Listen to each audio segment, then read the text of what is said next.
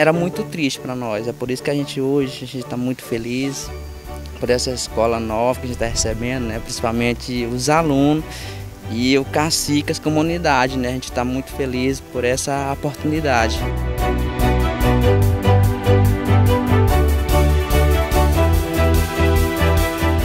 Nós tínhamos um colégio aqui, um colégio de taipo, e sempre que o, o, os alunos, os nossos filhos se reclamavam para nós, né? Agora com essa escola nova já está nascendo um novo pensamento, é um novo tempo que a gente construiu, né? E nossos filhos vão estudar mais, vão em busca de, de, de conhecer mais essas coisas. Isso é, um, é muita alegria para a gente.